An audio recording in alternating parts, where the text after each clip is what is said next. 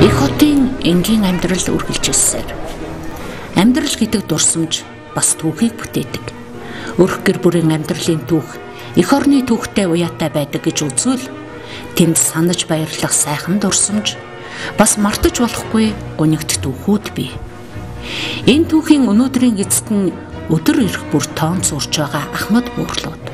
Харин тэдний сэтгэл оюун ухаанд нь хадгалагдсан үлдсэн тэр дурсамж түүхийг бид хэрхэн мартахгүй санаж авч үлдэх вүлээ. Үүнд бид хариулт ирлээ. Хэлмэгдлийн талаар, хэлмэгдүүлэлтийн талаар ер нь юу мэдэх вэ? Түүхэн талаас тэр 1950-аад оны үед. Нэг нэг ерөнхий сайн бол мэдхгүй. Тэгээ баг зэрэг хэлмэгдүүлэлт маш их болсон гэдэг талаар л мэддэг болохоос биш яг ийм тийм энэ биш нэр мэдхгүй. Хэлмэгдлийг яг юу гэж тайлбарлах вэ? Тэр үеийн одоо дотоод яам тэр өдөр бол үндэ бол бас сайн мэдхгүй те дээрээс өгсөн тушаал тэгж байсан баг гэж боддог. Хэлмэгдүүлэлтийн үеэр бол ер нь Монгол улс ч дайны үед алдж байгаагүй болов нь ер нь алдж исэн гэсэн тийм их сурж байдаг. Оросоос үүрэг даалгавартай монголчуудыг устгасан байж ч болно. Монголчууд ч тэдний гар хөл болж ажил үүргийг гүйцэтгэжсэн 2 3 талтай л байна. 10 жил төрний талаар хичээл зааж ирсэн. Зааж ирсэн. Аа, юу гэж зааж ирсэн?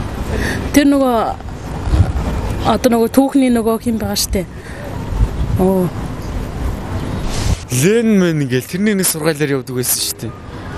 Тэр хүмүүсийн нөгөө нэг одоо альбом тушаал тэр үеийн цэрэг мэргийн нэг хүмүүс л ер нь яаж л явах гэж боддоо шүү дээ. Өөхийн өмнөийг сануулж бай. Түнэр харан хуйгийг гийгүүлж бай. Дээдсийн сүнсийг амирлуулж байг. Дооцсын хилэнцийг нэмгийж байг.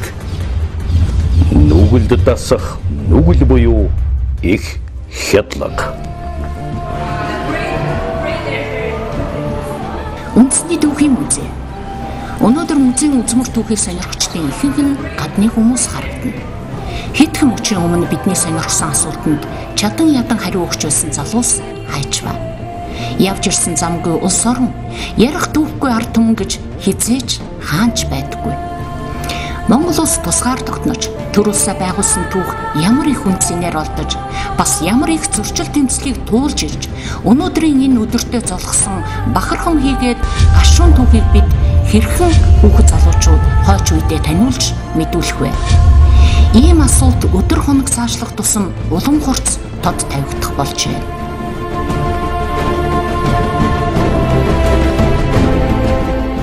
Also ich bin seit anderthalb Jahren in der Mongolei und das Thema äh, beschäftigt mich schon viel länger, weil wir eben auch in Deutschland äh, eine kommunistische Diktatur durchgemacht haben ähm, und es in Deutschland sehr viel Aufarbeitung dieser Zeit gibt. Ähm, und für mich war die Frage von Anfang an spannend, wie das die Mongolei gemacht hat, wie die Mongolei mit der kommunistischen Diktatur umgegangen ist. Wir haben dieses Jahr eine große Konferenz durchgeführt über Opfer in ihrer Familie, über ähm, Geschichten, die jede einzelne mongolische Familie erlebt hat. Ähm, und deswegen glaube ich, äh, dass es da noch sehr, sehr viel zu tun gibt in diesem Bereich in der Mongolei. Энэхүү их хилмигдүүлэлт буюу их хядлага чухам хус социалист лагерын үед тэрэл цаг хугацааны нэгэн эргүүлэг дунд болж өнгөрчээ.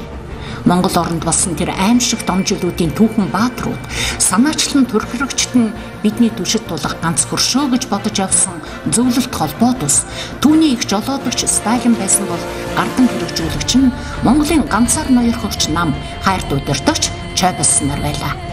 Тэдэнд гар хөл бологчт нь ч мундсангүй. Мартах хэрэггүй бас давтах хэрэггүй.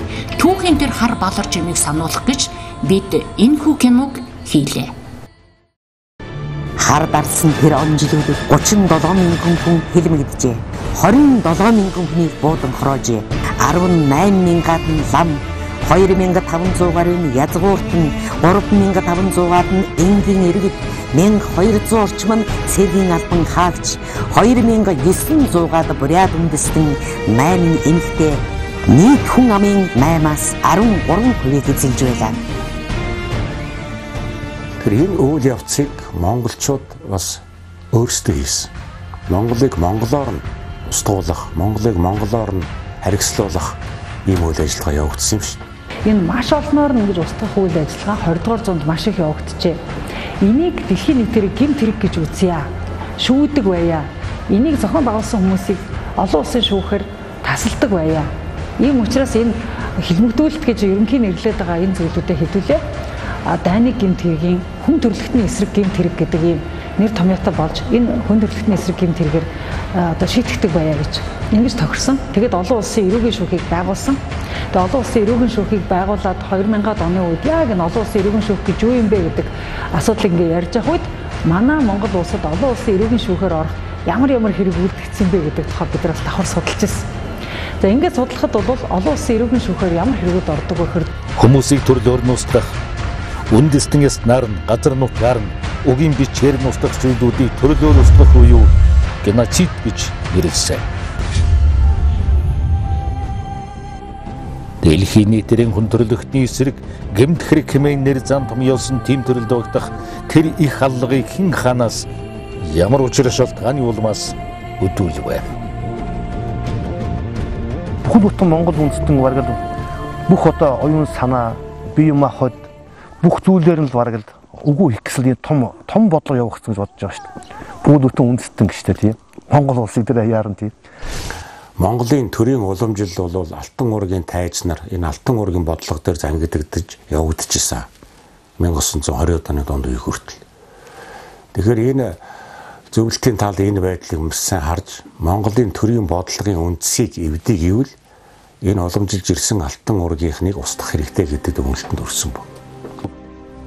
Монгол орныг өөрийн нөлөөнд дон тасаврах Тэр бодлоготой тэрсэлдэх хүүхнийг зам өрөөсөн хуу цэвэрлэх хариг өрний бодлого цусан зам татуулан хэрэгжсэн 1933 онд Лумбин хэрэг гихчээр эрчэн авсаар 1937 оны 9-р сарын 10-ны шөнө орон даяар хоморголон баривчилсан баривчилгаагаар туйлдан хүрсэн билээ. Комментарийн нөлөөлөгч Шимрал Нутаг дэвсгэр нь хүн амаас илүү чухал ач холбогдолтой хэмээн сэтгэл сэртхийлэн хэлсэн үг ганц түүний амнаас унсан бодлогогүй үг биш байлаа. Агдан буугийн амар бүгд наримдах Монгол Ард улсын ерөнхий сайд гадаад явдлын яамны сайдаар тус тус ажиллаж байлаа. Хэтээсэн том өндөстөн буурай өндөстнийг төрөмгийлэн эзэлж өдөрдөгчдийн барьж хордог яг л тийм маягаар зөвлөлт толгойд улс Монгол улсад хандж байна эзлэн төрөмгийлэх бодлого явуулж байна хэмээн шүүх хурлыг яллан хэлсэн амар харийн нутагт хэдэн зуун нутаг нэгтийнхээ хамт зөв зүгээр байсныхаа төлөө тухандан сум зоолуулжээ. 1930-ад он Монгол улсад юу болов? Эзнээ алдсан морд үүрсч хоцорсон Ирээн алдсан бүсгүүчүүд цурхирч хоцорсон. Эцгийн алдсан хүүхдүүд бүлтэлзэж хоцорсон. Үрийн алдсан буурлууд сөхөрч хоцорсон. Багшаан алдсан шивүүд бодон гуйрч хоцорсон. Хоймрон алдсан голомт хув хайрч хоцорсон. Байдгаан алдсан Монгол баларч хоцорсон. Үннэн алдсан хорвоо цөхөрч хоцорсон. Байхгүй. Байхгүй. Байхгүй бүгд байхгүй. Уухийн үннийг сануулж бай. Түнэр харан хуйгийг ийгүүлж бай. Дээдсийн сүнсийг амирлуулж бай. Дооцсын хилэнцийг нэмгүүлж бай. Нүгэлд дасах нүгэл буюу их хядлаг. Би Архангай аймгийн их тамир сумынхаа бандаг бэрлийн онготой эчин хорлоо. Миний төрсөн эцэг бол ойд пунцэг гэж юм. Дэмж инжингийн төрсөн дүүнэ.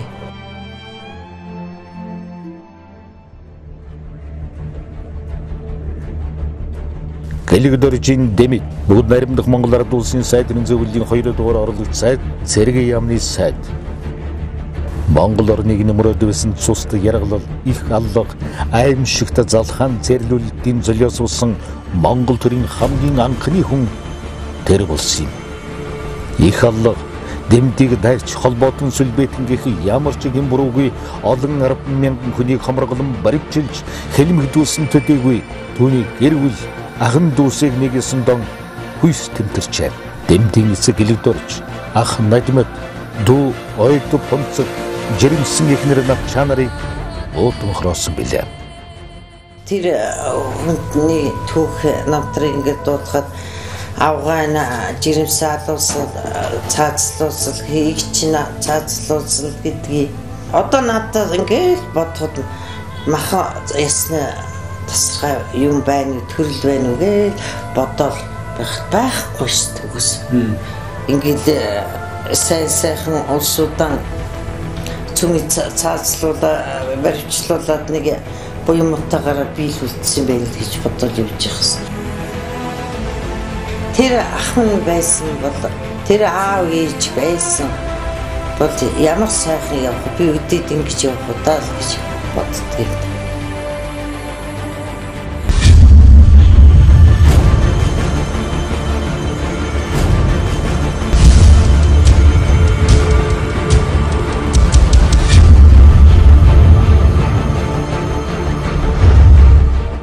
Мянган 926 оны үед тухайн үед ардын цаг мандаа 5 жил болцсон байсан тийм ээ. Тухайн үеийн Монголын төр засаг өрөндийн орнуудад оюутан сурагчтай илгээх, өрөндийн орнуудын соёл боловсруулалтаа суралцах. А мөн дэлхийд ихэнхдээ хөл нийлүүлэх гэсэн зорилгоор өөрийнхөө эсэг сурагчдыг Герман, Франц улсад сургахаар явуулсан мэт. 1926 оны 5 дугаар сард Германд 35 хүүхэд, намар нь нацагд орж, пагам дулам тэргүүтээ 5 хүүхэд, дараа нь Францад 4 хүүхэд ингээд нийт дүнгээрээ уван цовон явуулсан хүний тоо 40 гарчээ. Эдийг бүгдээр ингээд сургууль соёлын төгсгөлгүйгээр буцаага татцсан мэт. Том гүрэнд жижиг улсын бие дааж боловсон хүчнээ бэлтгэх гэсэн бодлоо өөр нийцсэнгүй.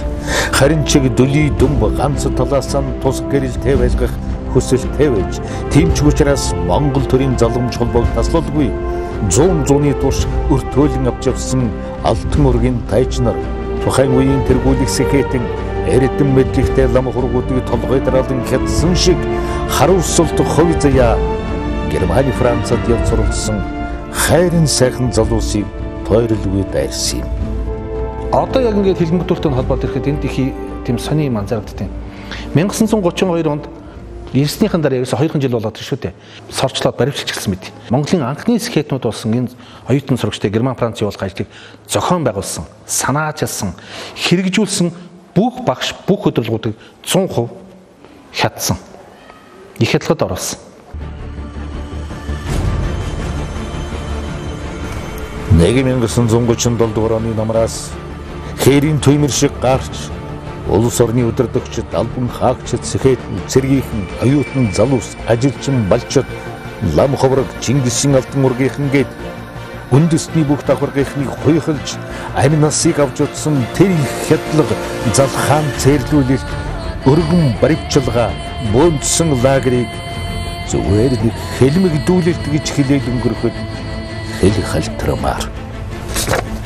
Энэ гимт үйлдэл бол гадаад дотоод хоёр хүчин зүйлтэй. За гадаад хүчин зүйл бол энэ шууд одоо Оросын нөлөө орсон. За дотоод хүчин зүйл бол энд бол улс төрийн байгууллага тухайн үед бол нэг намын тогтолцоо байсан. Анх одоо Монгол ардын нам гэж байгуулагдаад сүүлдээ Оросын одоо нөлөөлөл Монгол ардын хувьсгалт нам болсон. Тухайн үеийн удирдах байсан хүмүүсүүдээс болж энэ хэлэмгдүүлэлт бол Монголын нийгэмд гарсан байна онцгой бүрэн эрхт комисс 1937-оос 1939 оны хооронд 26 мянга шахам хүн хэлсээр шийтгэгдэж 20 мянган хүнийг буудан хороож аимшигт яргалал хядлагыг үйлдэжээ.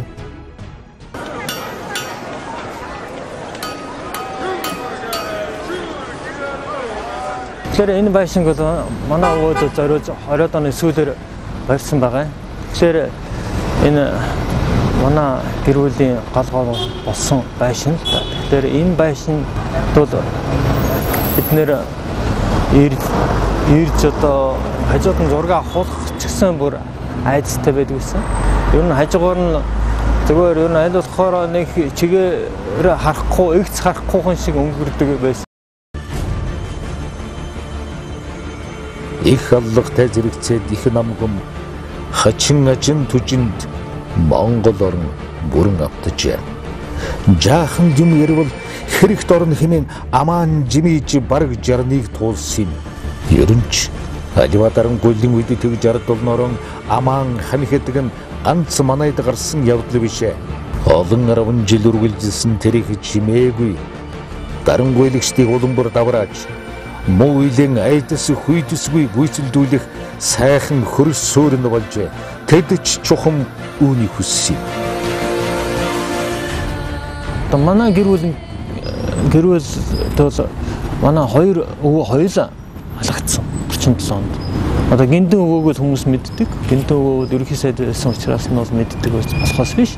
Одоо манай аавын аав намсраа гэж хүн байсан. Чинэлэг, болсортой, багш хүн. Одоо нэг зоч буудалтай. Улаанбаатарт чинь гадаадхны буудаг зоч буудалтай тийм хүн байсан шүү дээ. Тэгэхээр манай намсраа өвөөгөө дуудаад за Япон улс хүчрэг улс уу гэсэн гэж байна.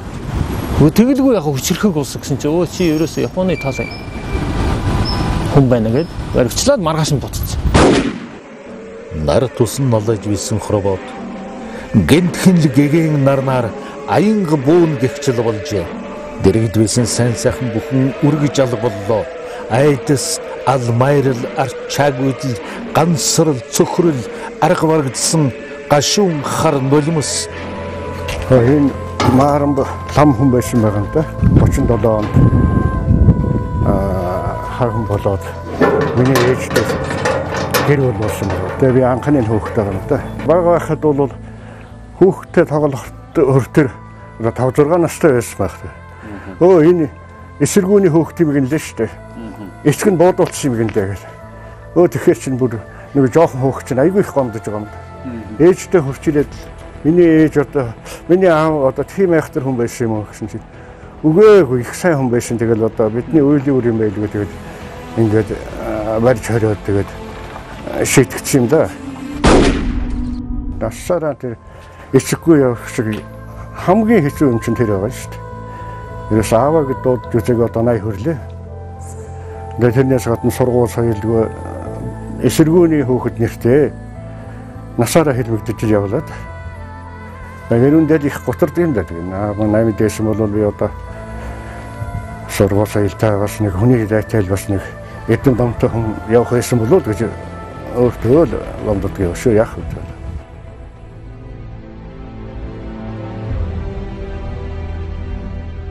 90 оноос эхэлсэн юм доо. Тэр хамнаад лам нарын юм их гараад байна.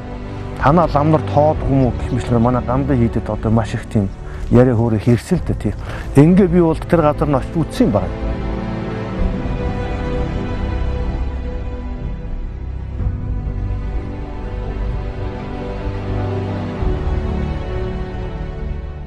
лам дээл мэл гэрг бус мус тэгэл хөрх юм тэгэл тийм баримтууд нь тийм байсан.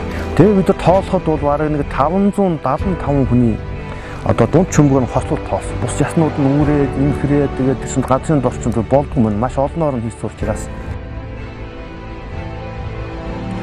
нэг 8 мм-ийн буу сумтай буугаар буутсан.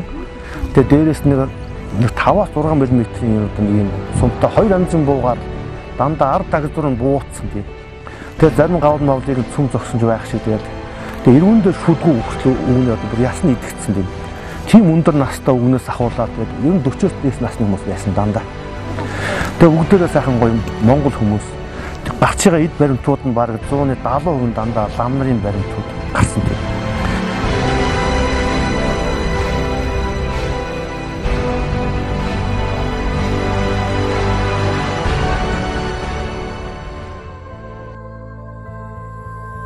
байхгүй байхгүй байхгүй бүгд байхгүй. Ном байсан шатаачсан, лам нар байсан олчихсан, хийдүүд байсан нураачсан, сүсэг байсан үргээчгсэн байхгүй. Байхгүй.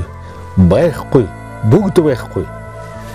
Харчуд байсан хөнөөчгсөн, хөрөнгө байсан хураачсан, зориг байсан мохоочгсон, золбоо байсан умтраачсан Энэ Монгол улс минь элгэн олон төмөн минь цурхиртал үйлсэн дуун хаачав урстал асгарсан нулимс хаачв урагдтал хайлсан энлэн хаачв мартахгүй гэсэн ангараг хаач тэрийг хашгиран хаан очиж амьрлал тэр их нулимс хаан очиж шингэв. Тэр их энлэн хаан очиж амьрлав тэр олон халуун ань хаан очиж мартагдав хаан очиж Тэр 37 39 оны хэлмэгдүүлэлт гарсны дараас чинь хоёр үеийн түүх бичүүлдэг байсан. Сүүлд болохоор гурван үеийн түүх болгосон. Тэгжээж одоо эсэргүүний хүүхдүүд юм уу одоо өөр содоо нарыг мэдгэж одоо тийм гурван үеийн түүхийг зохиолоо штэ. Түүхийг эзэгнэгч тэр олон хүн цаг усаар устгахад өрх гэрийн түүх гуйвж дайвсаар улс орны цадиг түүхч голдролоосоо халлаа. 1996 онд улсын хурлын дид даргын туслах гэдэг ажлыг би хийдэг байсан. За тэр үед миний дарга бол одоогийн ерөнхийлөгч Цахагийн элбэгд орж улсын хурлын дид даргын албан тушаалтай. За улсын хурлын дид дарга хүн нь өөрөө тухайн үед улс төрийн хийс сэрэгт хэлбэгдэхстийг цагаатгах үндэсний хорооны дарга гэдэг ийм одоо давхар албан тушаалтай байдаг байсан. За тэр үед бол цагаатгах ажлыг удирдан зохион байгуулах улсын комиссийн нарийн бичгийн дараагаар сампил норуу гэдэг хүн байлаа. Тэгэхээр энэ сампил наруу дарга ирж одоо элбэгд орж дарагтаа уулзах үеэр ажлаа танилцуулах үеэр би одоо улс төрийн хил сэрэгт хэлбэгдэгсэд гэдэг нэр томьёог бол их олон сонс. Тэгээд одоо даргыг яг энэ төр дээр үг хэлэх үед нь хил хүүгийг нь авчиж өгч хавцтай материалуудын зөөж ингэж одоо Бисхватрын талбай дээр анх 1996 оны 9 сарын 10-нд тэр одоо олон нийтийн нээлттэй жагсаалт оролцсон л доо. За тэр үед би жинхэнэ хүний нүүр царай харсан байхгүй. Ямар хүний нүүр царай харсан бэ гэхээр хилмигдсэн хүний ар гэрээхний царайг би яг анх тэгэхэд харсан. Дандаа настай хүмүүс ирэх барьчихсан. Зарим нь бурхан тахлаа барьчихсан, жижигхэн юм бурхан барьчихсан. Зарим нь ингээд хүний зураг барьчихсан, нас орсон хүний фото гэрэл зургнуудыг барьчихсан. Бүгд гунигтай, бүгд нулимстай, настай хүмүүс талбайд ингээд дүүрэн зогсчихсон. За тэр үед одоо манай дарга энэ дээр үг хэлээд юу гэж үг хэлсэн бэ гэхээр хилмигдсэн хүмүүсийн одоо ар гэрээс тэр хүмүүсийн одоо үргэлжсэн аим насны төлөө Монгол улсын төр уучлалт гуйж байна гэсэн.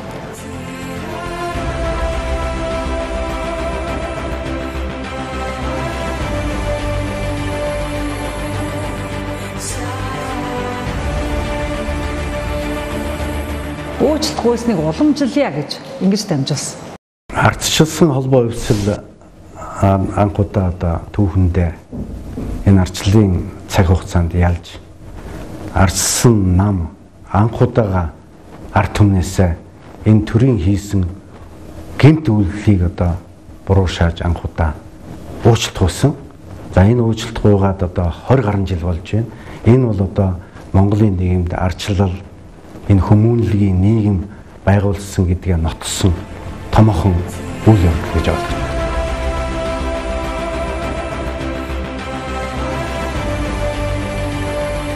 Хүмүүс тэнд асгартлаа үүссэн.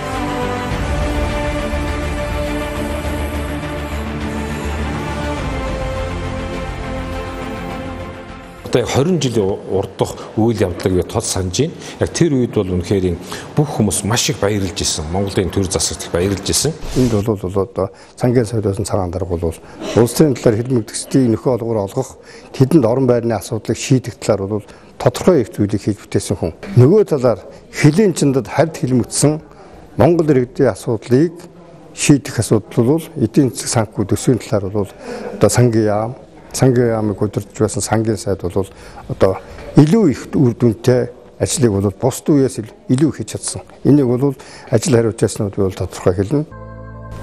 Төр үйлдсэн нүглийнхэн төлөөнөө уйчил гуйх гэдэг хичнээн чухалж түүний төлөө үүрхэж хүлээх хариуцлага өндөрөө. Төрийн тэм хариуцлагын он жилүүд ингэж их хүлээлгсэн шигэн урт удаан үргэлжлэх болтугай. Өнөөгийн байдлаар 31300 гаруй хүнийг одоо хэлсэргээс цагаатгаад байна. Иргэдийн хаа иргэдийн цагаатах тэдэнд нөхөн болгоруулах нэр төрийн сэргээ чиглэлээр бас тодорхой ажил төлөв өсөлт стратеги хийж явуулж ирсэн. Монгол улсын ерөнхийлөгч шилжүүлэрч нийт ард түмнээс одоо улс төрийн хэлсэр тэмдэглүүлэх системийн өмнөөс одоо уучлалгүйсэн ам 9 сарын 10-ны өдрийг бүх нийтээр одоо хэлмэстэй довс өдөр болгон тэмдэглэж. Энэ гэсэн зүйл нь амаараас бид нар бас улс төрийн хэлсэр тэмдэглэж цагаатах тийм хуультай болсон. 9-р сарын нэгэнт ерөнхий улс орнууд боловсролын сургуулиудын хичээлийн нэлттэй холбоотой бас нэг цагийн хичээл одоо хэлмэдүүлэлттэй холбоотой нэг цагийн хичээл орж байгаа. хайртай бүхнээ олдсон энэ хүмүүсийн хар усал гомдлыг он цаг илээсэнгүй. Өрцөн цаанаа өчнөн олон жил тээжирсэн бөглөрсөн сэтгэл, бохсон итгэл, гашуун хар нулимс зад тагн гарч ирж байна. Энэ хүмүүс өөрийн ирэхгүй гүн цаанаасаа уйлж байна. Гэвч он цаг өршөөл цагийн шурганд өртсөн өвөг дээдсийн төлөө халуун нулимсан урсгаж байгаа энэ өвгөд өтгөсч нэг л мэдхэд хоровоогоос буцах цаг ирнэ. Амжижил төр төмөн үр хойцод нь ч болдгоо ачивэлэн үзүүлэх учиртай.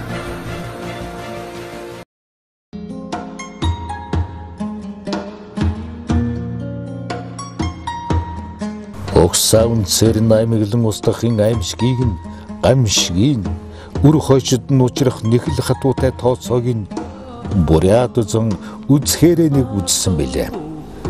Хөөрхи миний буряд зон хэмээн хоолой нийлүүлэн эмгэнэхээс ч яахав.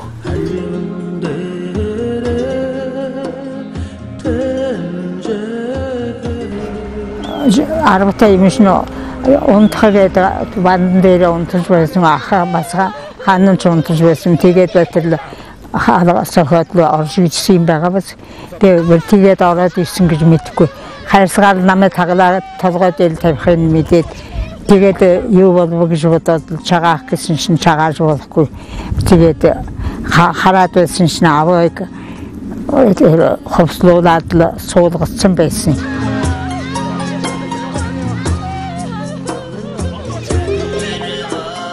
Бидний гүнзгүүл барьяашгүй. Тэгээд н аваад явждаг ерөөсө буута буутаас тугаад аваад явждаг байсан шүү дээ.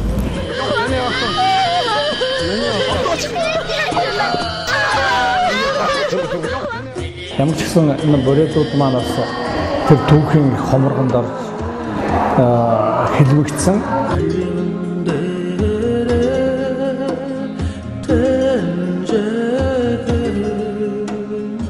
16-аас дээш насны эрчүүдийн одоо устгасан шүү дээ. Алдсан нэг үл хорсон тийм ээ.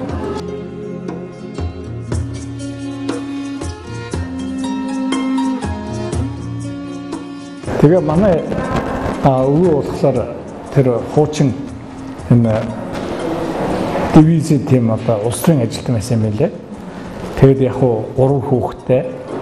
Тэгээд хөвшин ээж болохоор юу гэж хэлсэн гэхээр чиний аав чинь одоо өөр хүнтэй суугаад яваад өгсөн гэж.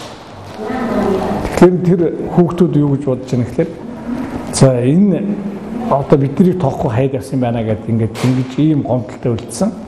Яг үнэн хэрэгтэй бол тэр эхний одоо хомролтонд ороод буудуулаад алуусан байсан.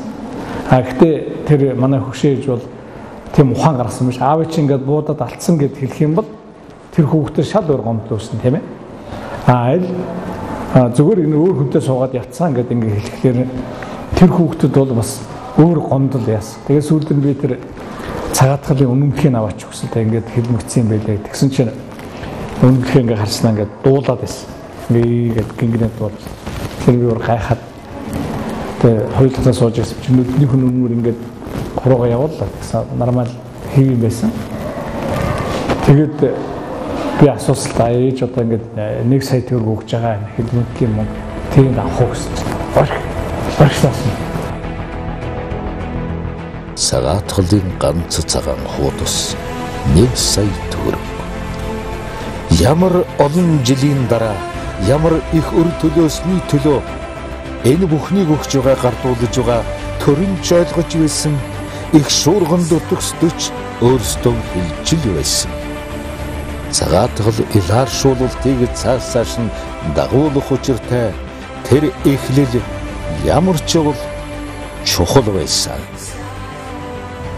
Манай аббаар бидний багт хаяад явсан гэсэн тийм ойлголтоос үнэн хэрэгдэл тэгэл хэлмэгцсэн юмдээ тийм байдал орсон юм байна.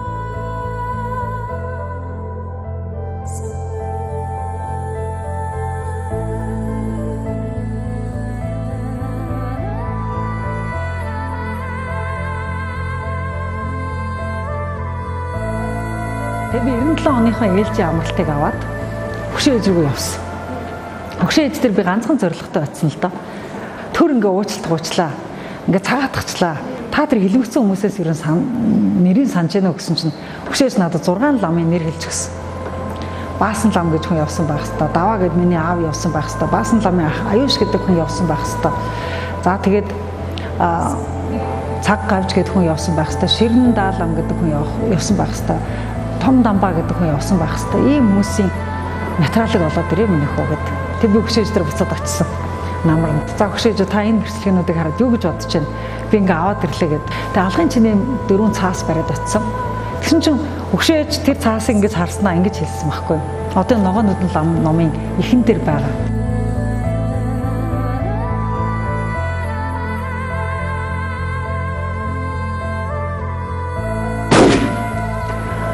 Аа ингэсэн юм уу гэж хэлсэн. Юу босныг мэдэх гэж ээж нь 60 жил хүлээлээ гэж.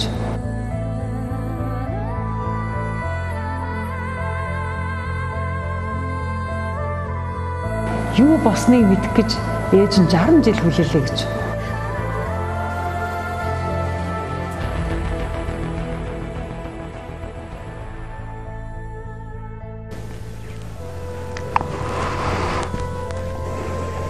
Яг зүгээр хэлэх жоох хэцүү юм тий. Зүгээр сэтгэл нэг жоохондоо хоосрох шиг юм шиг нэг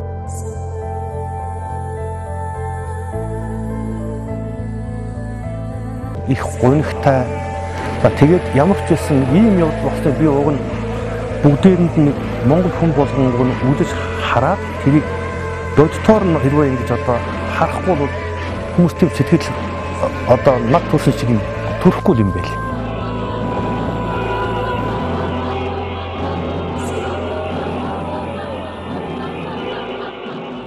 Тэгээ би хамбоон дээр уг нь нэг төсөл хийгээд нэг жижиг тахны сүм бариад тэндээс гарсан тэр одоо хадгалж байгаа толгой яснуудыг нь одоо камбучи шиг бид нартай адилхан тавиад тийм ээ.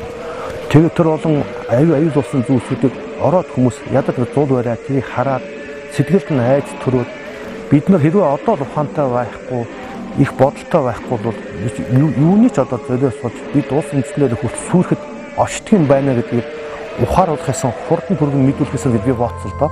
Ингэж байж н хар үйл ариулсан шүү дээ бас тий. Тэр хүмүүсийн ясан ч амран да ядаж тий. Яг үнэн хэрэг дээр бол аимшигтай байдаг бүгдээрээ л алуулсан. Нэг дор овоолцол би одоо харж байхад нэг нүхнээс л тэр 600 хүний шал гарч ир бодолтой. 575-ны шал бөөнд нэг нүхэн яйцсан биш тий. Тэгсэн дэр одоо тэгэл ахаад хамбаа онд яс гарчлага байдаг.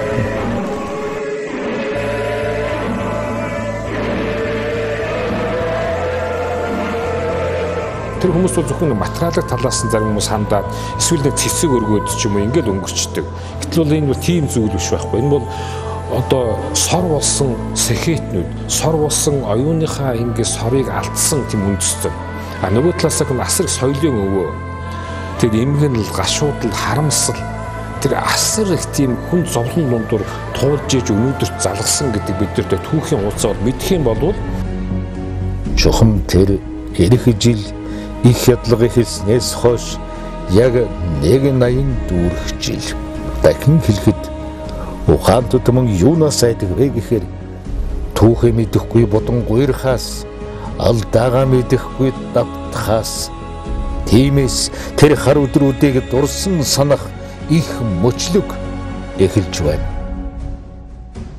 Тэгэхээр бид нар л харж байгаа маш олон хүмүүс байгаа шүү дээ.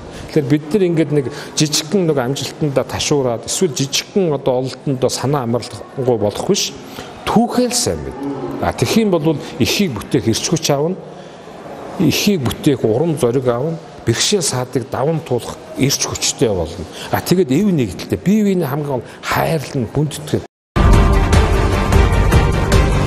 халуун итгэл зөвхөрсөн хатан зүрх шархирсан хардарсан зүвчиг онжилуудыг хамаг монголчууд бүү март. Мартах ирэхгүй давтах ирэхгүй. Энүүгээр та нарт би юу хэлэх гээд байна вэ гэхээр бид биднээс хойш энэ улс орны минь авч явах ирээдүй хойч залуу үедээ энийг мэдж энийг зүрх сэтгэлийнхээ гүнд хадгалж мартахгүй үргэлж санаж яваасай. Ийм их тэр хэлбэгдүүлэлт яргалд одоо дахин бүү учраас л гэж боддог. Одоо би жилийн жилд одоо яг л нэг ерөөл уншуулт юм да нэг 10 удаа ерөөл уншуулт. Зул өргөдөг юм би аавынхаа шарил дээр бичсэн нэг үгийг би энд хэлье. Би энэ тэнгэрээс надад хэлсэн юм уу? Надаас нэг ийм л юм гарсан, үг гарсан юм байгаа. Би махбод мөнх усч бэлэг оюун хатан сэтгэл мөнхөд үргэлж хилдэг юм байна гэсэн үгийг би аавынхаа шарил дээр одоо гантгийн дээр бичиж тавьсан байгаа.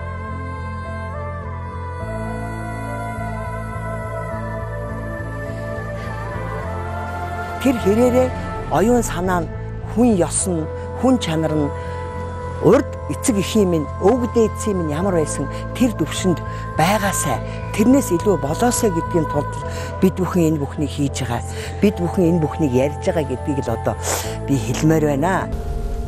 Үл унтрах өнөмөн хин зул бадрах хин учир энэ билээ.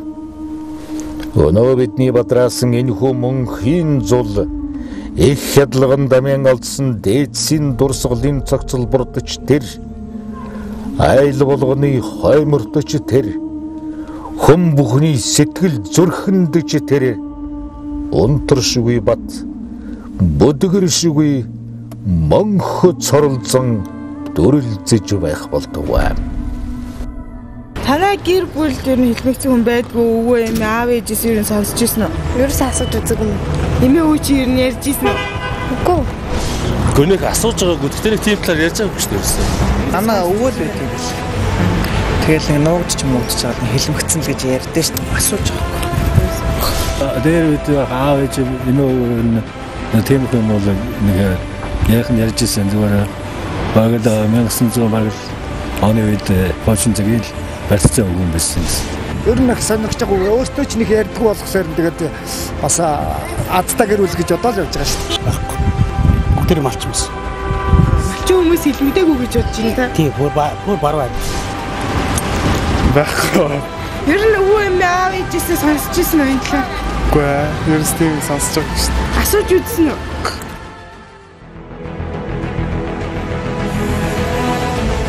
Өнөөгийн хүүхдүүд бидний үгийг сонсгоо байсан.